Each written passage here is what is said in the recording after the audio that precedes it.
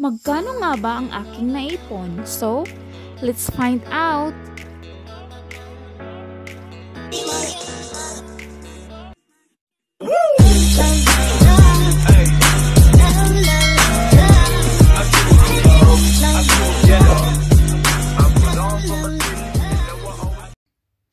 Hello friends! Welcome back to my channel and so uh, ito yung naipon ko, ito yung mga tira sa aking sahod. So dito ko siya nilagay. So na-inspired ako na mag-ipon challenge dahil nakita ko sa ibang mga kababayan natin na malaking tulong talaga ang mag-ipon challenge. So uh, tingnan natin kung magkano ang laman ng aking ipon challenge sa loob lamang ng 9 months. So, nag-start po ako na mag-ipon noong January 21, 2001.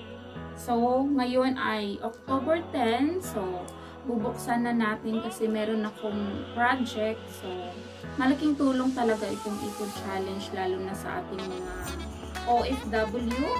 So, tara, samahan nyo ako at tingnan natin kung magkano ang laman ng aking naipon magkano kaya ang laman ng ating ipon challenge? So, nag-start akong mag-ipon challenge guys noong this January 21 lang, this year lang, January 21, 2001.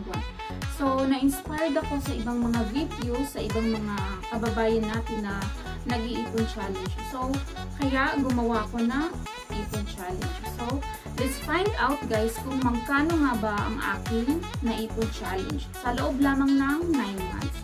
So, ito yung mga tira kong sasahod ko na pinapadala ko. So, yung kung may tira, dito ko siya uh, iniipon. Dito ko siya nila, i, uh, nilalagay para at least safe siya. Hindi ko siya makuha kung may gusto man akong bilhin, hindi ko siya makuha. So, uh, tingnan natin kung magkano ang laman.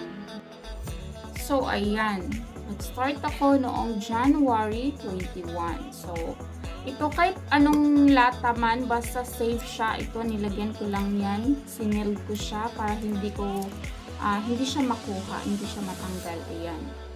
So, uh, buksan na natin. Ayan. Kuha tayo ng gunting. Ayan. Magkano kaya ang laman ng aking ipon challenge? Kahit anong lata dyan, so, o kaya tupperware, basta isild nyo lang. Ayan. Ito yung mga tira-tira sa aking sahod. Hindi kasi ako magastos na tao guys. So, yun lang mga mga wants talaga ang pinaka-importante. Ang mga needs pala, mga needs. Ayan. Taran. Mga needs. Oo, tama. Mga needs. Ayan. So, ito na lahat sa loob ng 9 months. Ayan.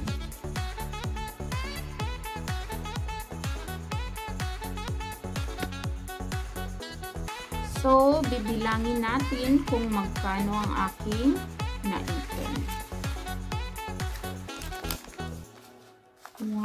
stool.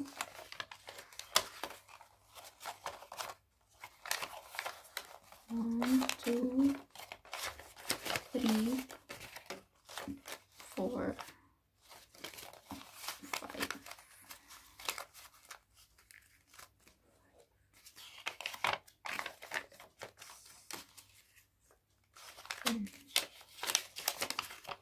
Hmm.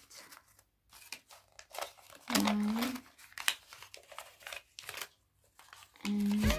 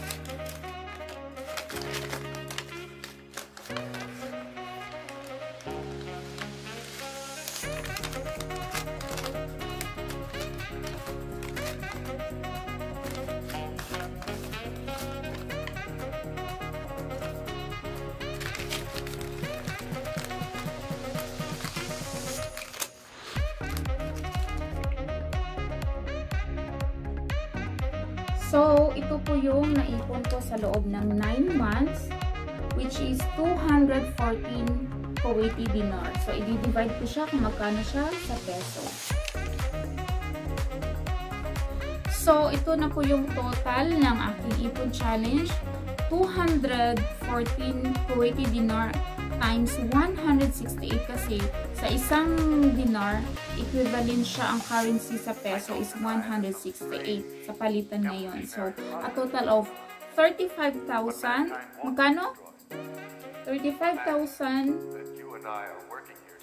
Wait lang, itotal ko muna. Basta 35,000 ah uh, magkano nga ba?